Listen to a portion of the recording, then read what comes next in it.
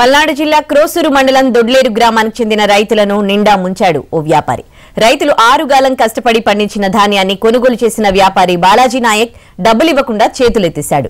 అమ్మిన ధాన్యం విలువ దాదాపు ముప్పై లక్షలకు పైగా ఉందన్నారు రైతులు. డబ్బులివ్వమని నిలదీస్తే కోర్టు నోటీసులతో భయపెడుతున్నారని అన్నదాతలు ఆరోపించారు. ఉన్నతాధికారుల దృష్టికి తీసుకెళ్ళినా ఫలితం దక్కలేదన్నారు. ఇప్పటికైనా ఉన్నతాధికారులు స్పందించి న్యాయం చేయాలని రైతులు వేడుకున్నారు.